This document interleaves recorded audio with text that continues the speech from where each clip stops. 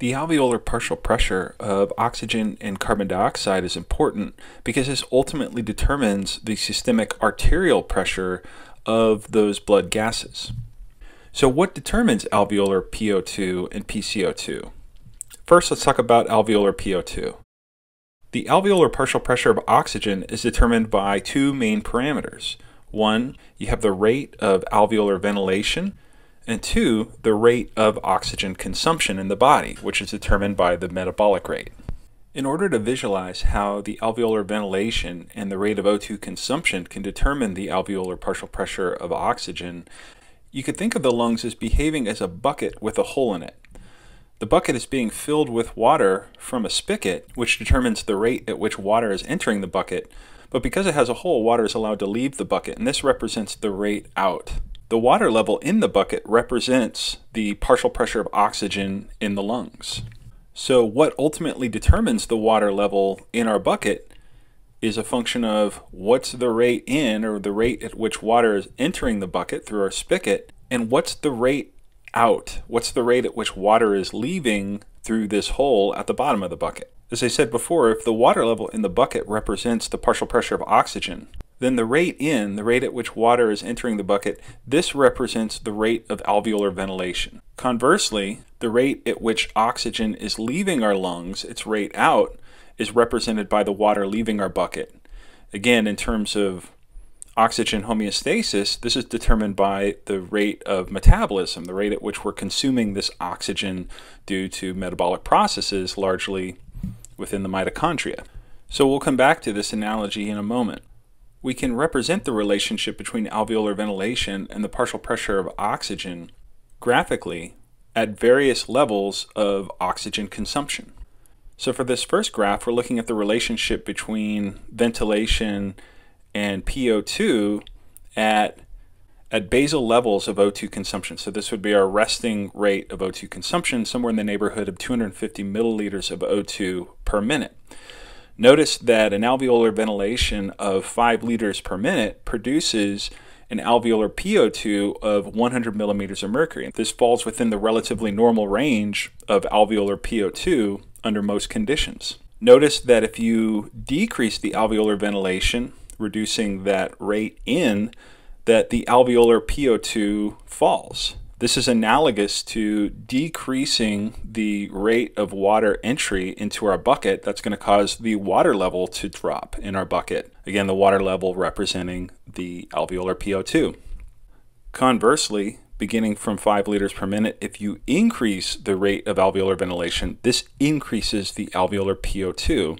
Again, analogous to increasing the rate of water entry into our bucket, which would result in an increase in the water level in our bucket.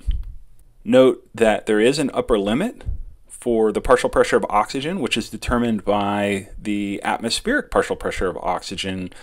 What happens to this relationship when the rate of oxygen consumption increases, in this case to 1,000 milliliters of O2 per minute, which would be representative of an increase in aerobic activity resulting in increased oxygen consumption.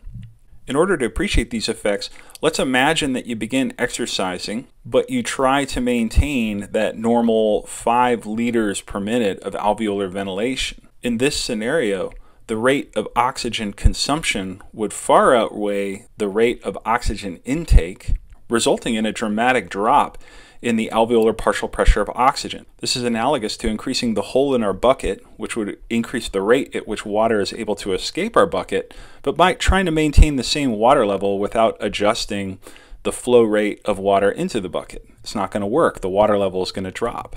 This extreme drop in the alveolar PO2 is incompatible with life. Our body tries to maintain an alveolar partial pressure of 100 millimeters of mercury because again, this determines what ultimately is the systemic arterial partial pressure of oxygen. So in this scenario, with that increased rate of oxygen consumption, how do we get back to an alveolar PO2 of 100 millimeters mercury? Well, obviously this can be accomplished by increasing the rate of alveolar ventilation. So based on these values, if alveolar ventilation increases, this is accomplished by increasing respiratory rate and or tidal volume, then the alveolar partial pressure of oxygen can be brought back up towards 100 millimeters of mercury. For this scenario, this can be accomplished by increasing the alveolar ventilation to 20 liters per minute. So that's the determinants of the alveolar partial pressure of oxygen.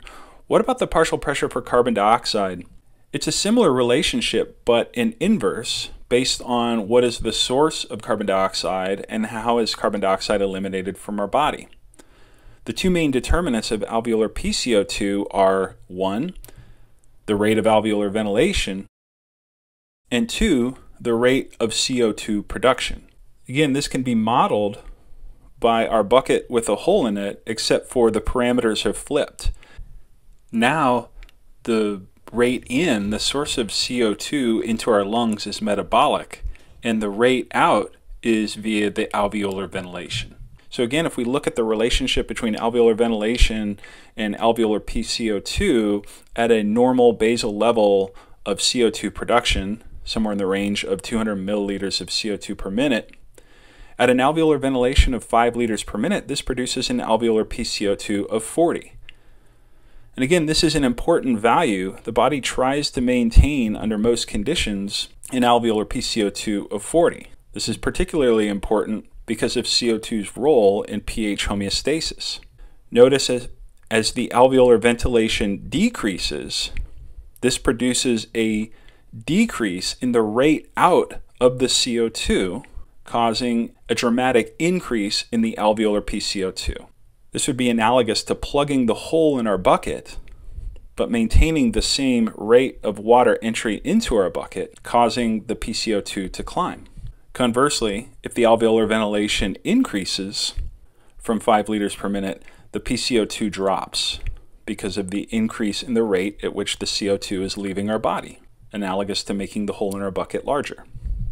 Again, this relationship can be appreciated by imagining what would happen if you increase the rate of CO2 production, say during moderate aerobic exercise, where CO2 production can increase from 200 milliliters of CO2 per minute to 800 milliliters of CO2 per minute.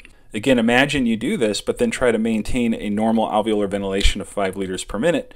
PCO2 becomes deleteriously high, but again, because the body tries to maintain an alveolar PCO2 of approximately 40 millimeters of mercury in most conditions, this can be accomplished by increasing the rate of alveolar ventilation. With this increased rate of CO2 production, alveolar PCO2 can be brought back down towards 40 millimeters of mercury by increasing the alveolar ventilation to 20 liters per minute in this scenario.